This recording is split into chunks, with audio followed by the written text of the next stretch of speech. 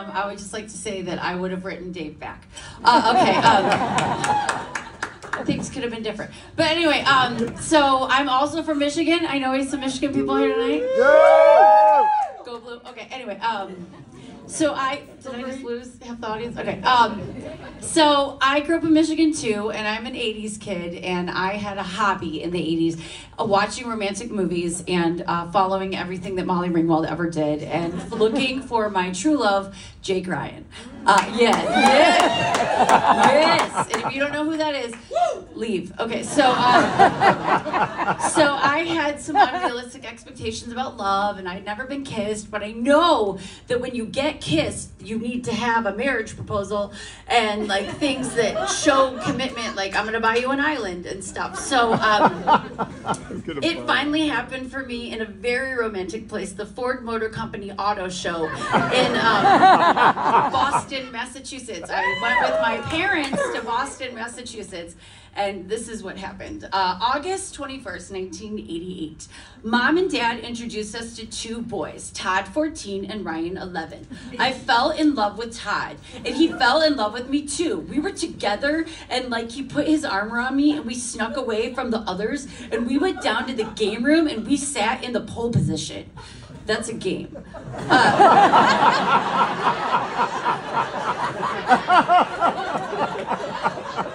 and then he kissed me, real, real French, and it was like. It was my first real, real kiss. And then I felt like I've never felt this way forever. And Todd is five six and strong.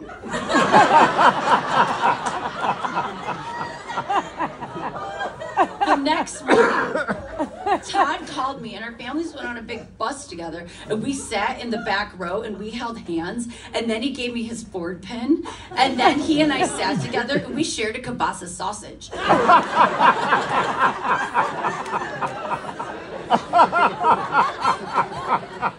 and then when we were alone, he put his arm around me and he kissed my neck and etc.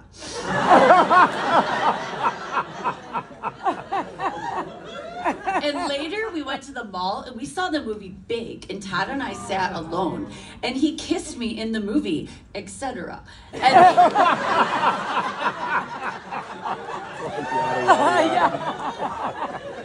he was so gentle, and he would whisper things like "I love you" and "Don't leave."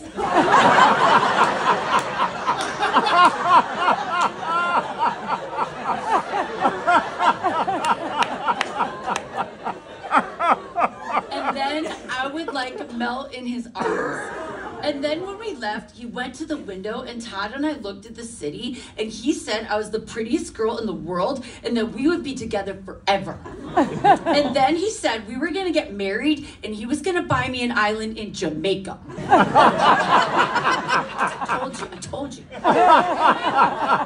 Todd bought me a bracelet and then he took me to breakfast and he tried to buy me a Garfield doll, but I said that was too much and I would not let him. you don't want to be like pretty woman, you know? So anyway, next entry. Today was our last day together. We went to the hotel window. We looked out at the city. We were both upset. I could tell. I could not stop myself from kissing him. And we kissed, and we kissed, and we kissed, and we kissed, and we kissed, and etc.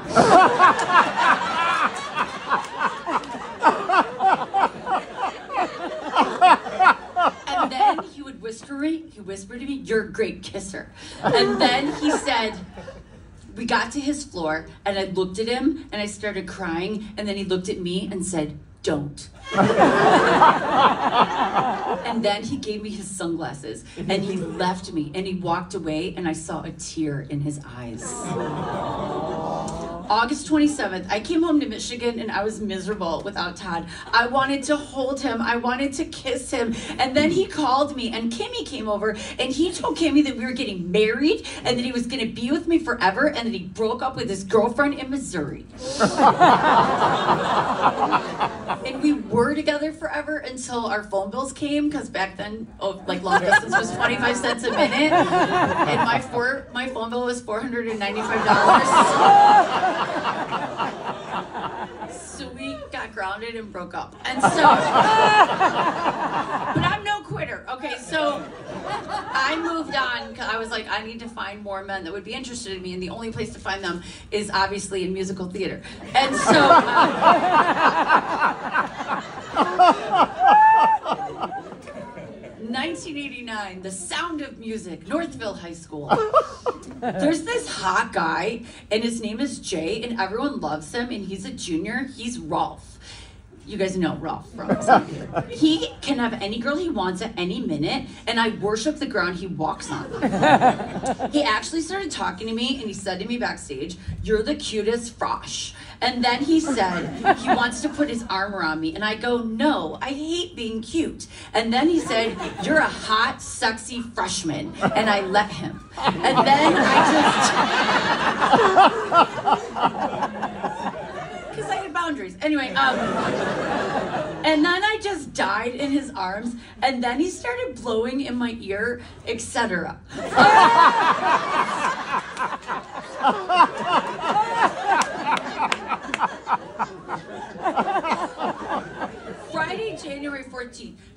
actually put the moves on me and I loved it. We ah. sat on the bed backstage. I don't know why there was a bed. and we had our arms around each other and I was wearing my nun's habit.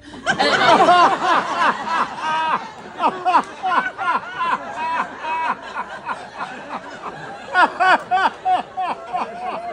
I was Sister Bernice. And he said all these sexy things back to me, and he said that he went backstage to the dressing room, and I was sitting on his lap.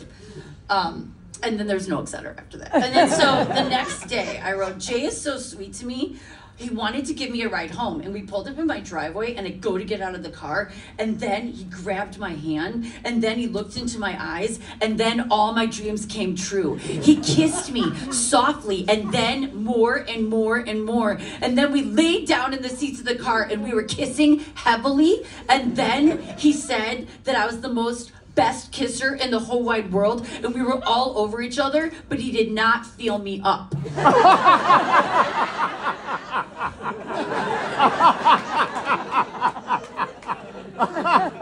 and then the song came on, and the words were so true. "Alone with You Tonight" by REO Speedwagon. and "Love Bites" by Def Leppard, cause it does. we pulled up in my driveway at 11:30, but I didn't get in my house till 12:45.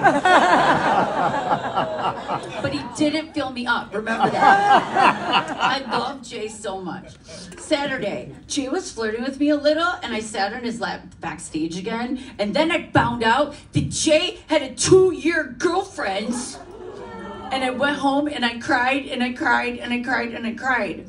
I got a ride home the next night from Carl, Jay's best friend, and he has a blue Conquest car. It rules. next day, Jay found out I was crying and crying, and he told Nicole he was really upset. So then he came back to me backstage and he says, We have to talk.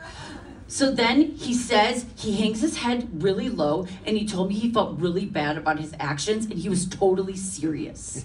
And then he said that he really liked me so much and he never wanted to hurt me. And we talked it out and we decided to be best friends. and then as he was walking away, he said, Don't ever let anyone tell you you're a bad kisser.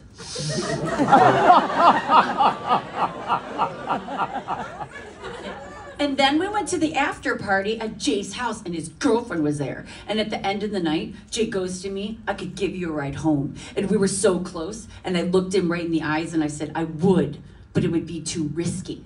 so Jay drove me home. we pulled up in my driveway, and then we started kissing and kissing, and we fell to the seats, and then we were kissing the best, and we couldn't stop. And about a half hour later, I looked up through the fogged windows, and Carl was standing at the window in my driveway. And Carl said, Hey, Jay, why don't you stop at my house on the way home? and then Carl walked away. We caught our breath, and Jay said, Dang, I could kiss you all night. You're the best kisser. Do you see the theme here? And then I said, We can't do this. And then he whispered, I didn't mean to break your heart. And I said, It mends.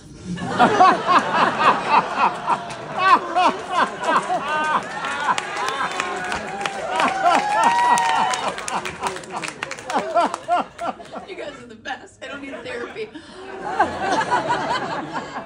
I lost myself in his arms one more time and I said, see you Thursday. And then I couldn't sleep at all because I love Jay so much. So Monday, I go to the bus stop and Carl is there waiting for me. And Carl kept asking me out at the bus stop and he would not take no for an answer and he wanted to know why Jay and not him. And all I could tell him was, Carl, I'm hopelessly in love with Jay, your best friend. He offered me expensive gifts, flowers, anything, even a ride to school in his blue conquest. and he finally goes, All I ask is for one kiss. And I said, No, Carl, goodbye. I love Jay forever. Wednesday, Amy said that Jay was crying in the lunchroom and he was sobbing and it was about me and he had to leave school. Thursday, Jay offered me a ride home again. And I said, I shouldn't. And he said, but you should. So we rode in his car, Buick Century Gray.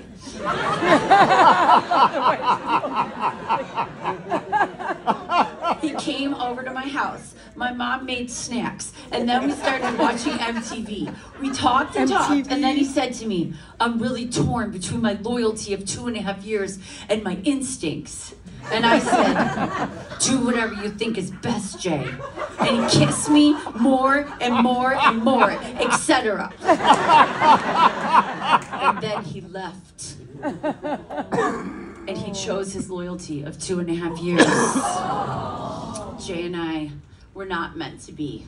But um, in the spirit of celebrating what has happened. If you remember Todd, my 14 year old, he did promise to marry me and he did promise to buy me an island. And things went, happy endings are really good because Todd did buy an island. He also sold his software for $150 million and married a girl named Carrie not me, who's an NFL cheerleader, and um, I just got a picture from Todd's wife of his island. and I'm single and I'm here with you. So everything worked out really.